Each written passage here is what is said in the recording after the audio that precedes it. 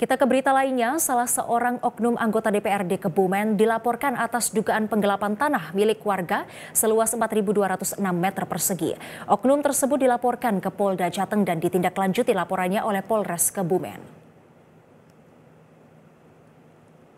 Oknum anggota DPRD berinisial KH tersebut dilaporkan oleh korban Sutaja Mansyur, warga Dukuh Karagapitan RT 3 RW 7 Desa Seliling, Kecamatan Alian, yang merasa tertipu atas jual beli tanah yang dijualnya kepada anggota DPRD tersebut.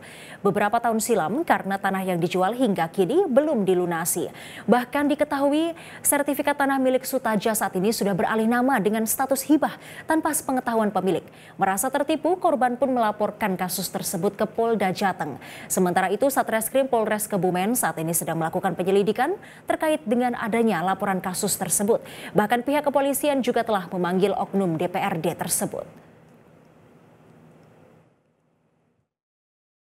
Untuk perkembangan saat ini masih dalam tahap penyelidikan, sebagian besar hmm. eh, saksi maupun pihak-pihak terkait itu sudah diambil keterangan ada beberapa yang belum itu yang sedang eh, kami jadwalkan untuk pemeriksaan termasuk dari pihak BPN kemudian ada juga permintaan mediasi oleh pengacara terlapor sehingga itu juga akan kita tindak lanjuti dengan mengundang para pihak.